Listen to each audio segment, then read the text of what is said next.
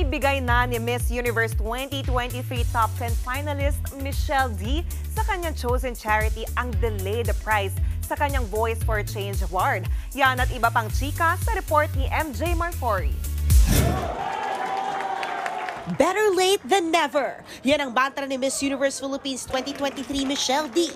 Matapos madali ng sampung buwan ang premyo niya sa Voice for Change. Nitong Sabado lang, na-turn over na rin finally ang 12,000 US dollar prize sa chosen charity ni Michelle na Autism Society Philippines. It's not my story to tell why it was delayed, but of course, I can say 100% that the intention was not to keep it from me.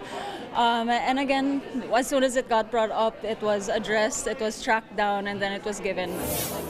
Sa ngayon, biyahing Paris Fashion Week ng beauty queen para sa kanyang unang sabak sa global fashion arena as a correspondent ng Vogue Philippines magazine. A-attend din doon si lumuhod ka sa lupa star Sara Labati. Say naman ni Michelle, sana raw ay maging proud ang mga Pinoy sa dumaraming mga kababayan natin na uma-attend sa Paris Fashion Week. We should be happy when there are delegates flying abroad to represent our country. So I know that there is competition, but just like Miss Universe, it's also a competition. But at the end of the day, we're all friends. Panalo naman si Miss Universe 2018 Catriona Gray sa isinampa niyang libel case laban sa showbiz editor at writer ng Diaryong Bulgar. Inanunsyo yan mismo ng legal counsel ni Catriona na si attorney Joji Alonso.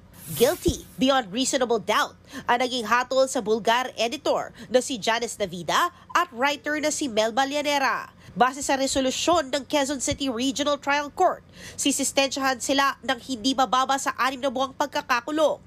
Maghahain naman ang motion for reconsideration sina Navida at Lanera para iapila ang kaso.